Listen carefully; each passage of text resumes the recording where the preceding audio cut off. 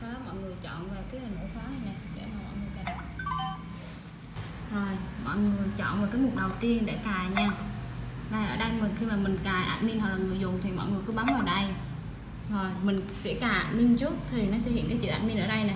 Rồi, mọi người dùng cái nút này để mọi người di chuyển. Thì cái mục số 2 này là cài nhận diện khuôn mặt.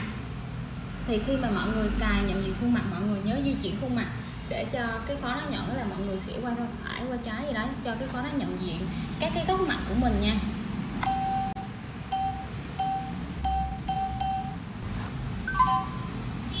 Rồi, sau khi mà mọi người cài cái mục nhận diện khuôn mặt xong, thì mọi người đến nhận diện bàn tay, nghĩa là khóa sẽ nhận diện bằng các cái vân tay ở trong lòng bàn tay của mọi người khi mà mọi người cài đặt cái mục nhận dạng bằng lòng bàn tay á, thì mọi người nhớ di chuyển cái bàn tay của mọi người để cho khó nó nhận được các cái vân tay á.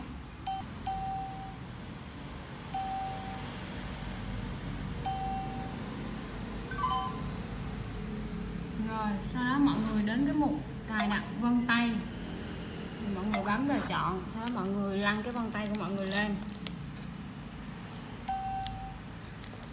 Mọi người nhớ di chuyển cái ngón tay để cho khó nó nhận dạng các cái dấu vân tay.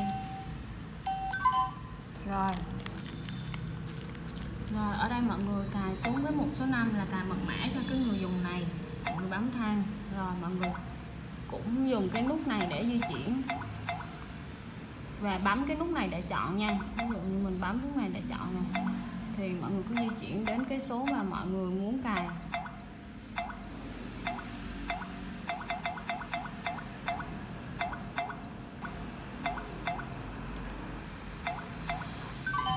Rồi, sau khi mà mọi người cài cái ờ, mật mã xong thì mọi người di chuyển sang mọi người cài thẻ từ luôn cũng được. Thì ở đây cái mục số 7 này là thẻ từ, mọi người bấm vào chọn. Sau đó mọi người tích cái thẻ từ lên ngay cái chỗ cái hình cái chuông này. Mình tích cái thẻ từ lên đây, thì nó sẽ nhảy ra cái số này.